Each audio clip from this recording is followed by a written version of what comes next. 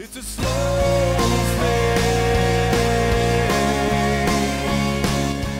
It's a slow. Welcome to Designer Digital's Tip of the Week, January 9th, 2010. This week, Faded Glory How to Fade Filters in Photoshop. We all have a pair of favorite jeans. You know, the comfy ones that started out with a deep blue hue, but each memory you've made in them has faded them just a bit. A family picnic, a trip to the museum, pizza and movie nights have rendered them the perfect shade of blue. Like the color of your jeans, you can make your Photoshop filter effect the perfect intensity as well. Last week's tip covered how to multiply filter effects by rerunning them.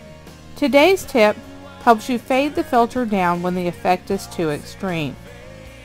To begin, open a photo in Photoshop and select Filter from the menu bar. Run a filter by clicking the category and the filter name. Make adjustments in the filter dialog box here, and when you're satisfied, click OK. To fade the effect, press Ctrl Shift F. On a Mac system, that's Command Shift F on the keyboard.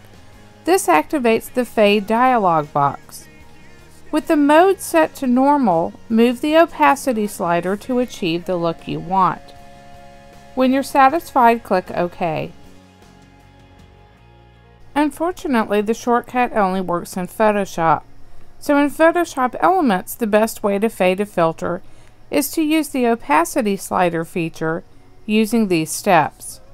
Open a photo and duplicate it by pressing Ctrl J or on a Mac system, Command J on your keyboard.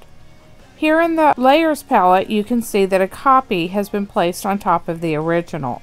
Target the photo copy and run a filter by pressing Filter and then choosing the category and filter name. Make adjustments here in the filter dialog box and click OK when you're satisfied. Decrease the opacity of the filtered layer by clicking on the layer and then moving your cursor here to the word opacity. When you do, your cursor turns into a pointer with a double-ended arrow. Click and drag to the left to decrease the opacity using the scrubby slider or move to the right to increase the opacity. When you're satisfied, just let go. Some Photoshop users prefer this method since it's a non-destructive way of fading filters. I find the shortcut especially helpful when I've rerun a filter. Sometimes once is not enough, but twice is too strong. Fading the rerun might give you just the concentration that you want. It's a slow fade when you give yourself away. It's a slow fade when black and white turn to gray and thoughts invade. Choices are made,